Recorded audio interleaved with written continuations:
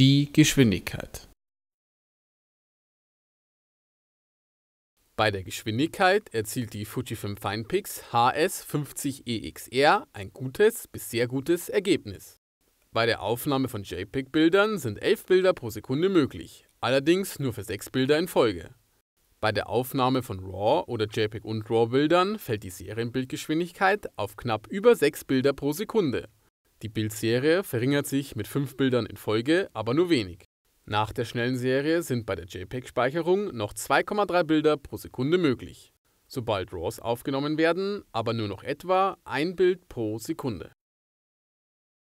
Die Auslöseverzögerung und die Fokussierungszeit fallen mit 0,01 Sekunden bzw. 0,19 Sekunden sehr kurz aus. Auch beim Einschalten lässt sich die Fujifilm Finepix HS50EXR mit 1,67 Sekunden nicht viel Zeit. Zudem ist das erste Bild schon nach 1,43 Sekunden im Kasten. Insgesamt ist die Fujifilm Finepix HS50EXR damit zu den schnellsten Bridge-Modellen zu zählen. Wartezeiten treten nur selten auf. Wie dkamera.de die Geschwindigkeit der Kamera testet, sehen Sie im Folgenden. dkamera.de testet die Geschwindigkeit der Digitalkameras in einem aufwendigen und technisch anspruchsvollen Verfahren.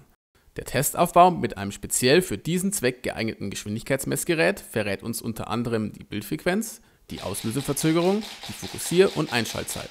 Die Ergebnisse der einzelnen Modelle finden Sie im Testbericht unter dem Reiter Geschwindigkeit.